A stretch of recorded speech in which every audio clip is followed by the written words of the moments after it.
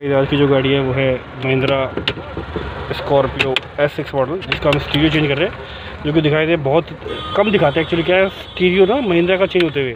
Basically क्या है, इसकी थोड़ी सी प्रॉब्लम ये फिटिंग का थोड़ा सा इशू आता है। तो हम देख सकते हैं दिस वन हम चेंज कर रहे हैं इसका, और इसका पैनल खोलते हैं। ये रिमूव हो चुका है दिस वन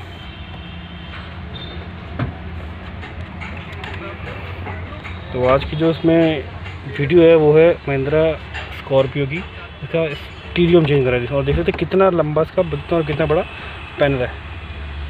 ये इसकी जेनरल वायरिंग है इस पर तो जैसे कि गाइस हम देख सकते हैं, ये स्क्रीन इसमें लग चुकी है इस पर और ये इसका पूरा पैनल है। अगेन हम शुरू करते हैं यहाँ से।